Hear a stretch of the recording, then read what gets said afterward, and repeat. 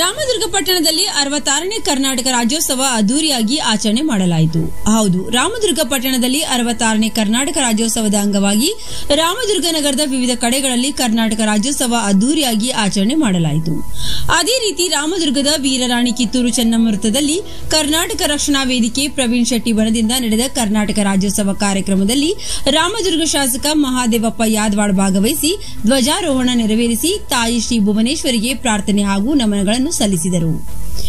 ಈ ಸಂದರ್ಭದಲ್ಲಿ ತಹಶೀಲ್ದಾರರಾದ ಮಲ್ಲಿಕಾರ್ಜುನ್ ಹೆಗ್ಗಣ್ಣವರ್, ತಾಲೂಕು ಪಂಚಾಯಿತಿ ಇಒ ಮುರಳೀಧರ್ ದೇಶಪಾಂಡೆ, ಪುರಸಭೆ ಅಧ್ಯಕ್ಷರಾದ ಶಂಕರ್ ಬೆನ್ನೂರ್, ಉಪಾಧ್ಯಕ್ಷರಾದ ರಾಘವೇಂದ್ರ ದೊಡ್ಮನಿ, ಮುಖ್ಯಾಧಿಕಾರಿಗಳಾದ ರವಿ ಬಾಗಲಕೋಟ್, ಎಪಿಎಂಸಿ ಅಧ್ಯಕ್ಷರಾದ ದ್ಯಾವಪ್ಪ ಬೆಳವಡಿ, ಉಪಾಧ್ಯಕ್ಷರಾದ ಪ್ರಕಾಶ್ ಬರದೇಲಿ, ಕರ್ನಾಟಕ ರಕ್ಷಣಾ ವೇದಿಕೆಯ ಅಧ್ಯಕ್ಷರಾದ ವಿನಯ್ ಚಂದರ್ಗಿ, ಕಾರ್ಯಾಧ್ಯಕ್ಷರಾದ ಶ್ರೇಯಸ್ ವಾಲಿ ಸೇರಿದಂತೆ ಕರವೇ ಕಾರ್ಯಕರ್ತರು ಹಾಜರಿದ್ದರು.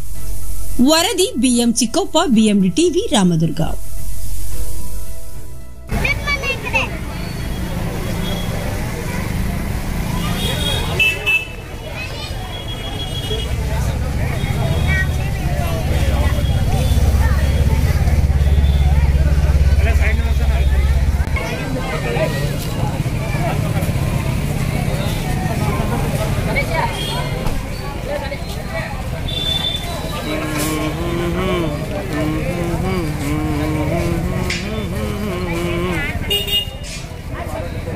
ಕೈಗೆ ಮಾಡೋ ಸ್ವಲ್ಪ ನೀನು ಸುಮ್ಮನೆ ಇರ್ತಿಪ್ಪ